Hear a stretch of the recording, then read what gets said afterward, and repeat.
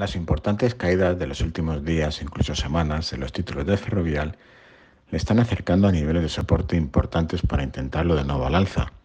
De hecho, a pesar de estas caídas, estamos hablando de un título alcista en términos de medio y de largo plazo. Otra cosa es que en el corto lo tengamos en fase correctiva. Dicho esto, en el gráfico semanal adjunto podemos ver una impecable recta directriz alcista que une todos y cada uno de los mínimos crecientes desde mediados de 2016 con cuatro impecables puntos de apoyo de tangencia. Y este pasa en el entorno actual por la zona de los 18.40. Ahí tenemos la directriz alcista. Con lo cual, a priori, toda corrección hacia este nivel de precios, hacia la directriz y siempre y cuando coloquemos un stop loss por debajo de los 18 euros en precios de cierre, entenderemos que son de las condiciones para intentarlo de nuevo al alza en los títulos de la constructora.